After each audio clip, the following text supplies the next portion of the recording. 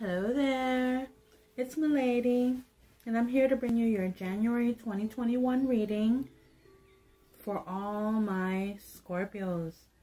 How are you? Welcome back. Happy New Year to you. Now, Scorpio, if you've been checking out my daily card of the day, you have noticed that you've gotten the Ten of Cups two days in a row. What is the Ten of Cups, Scorpio? It is love, it is prosperity, it is stability. Okay? So, for some reason, I'm feeling like you're doubting that. Or you're questioning it.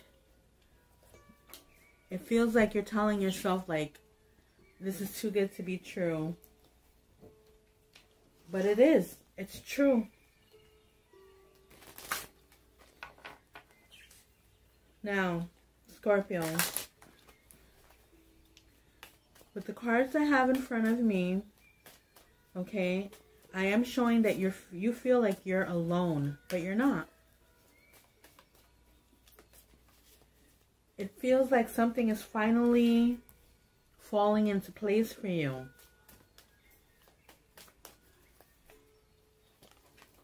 You're putting yourself through this desperation.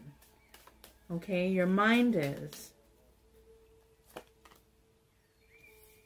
Okay, you're off to a great start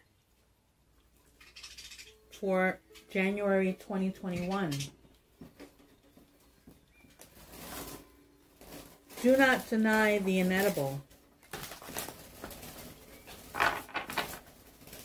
Take things for what they really are.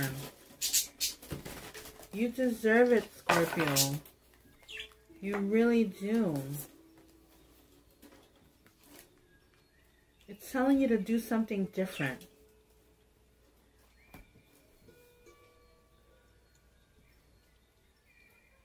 Maybe what it is is a change of mindset. Change your mindset, Scorpio. Change your attitude. See things for what they really are. Rather, it's right in front of you.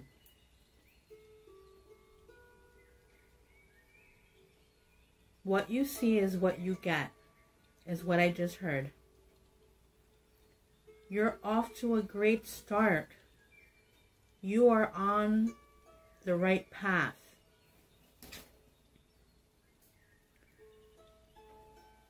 You have this official person card here. This official person is a very firm and serious person. And although they try to be a little bit more laid back and not take things so serious they do anyway. So it's telling you to let go of the grip. The grip that you have that everything should be a certain way. I just heard if it's not my way, it's the highway.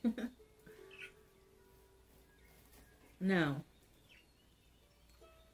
Loosen up a little bit, Scorpio. Enjoy life. You're not alone. Do something different. Be happy. That's what I have for you, Scorpio. Bye-bye.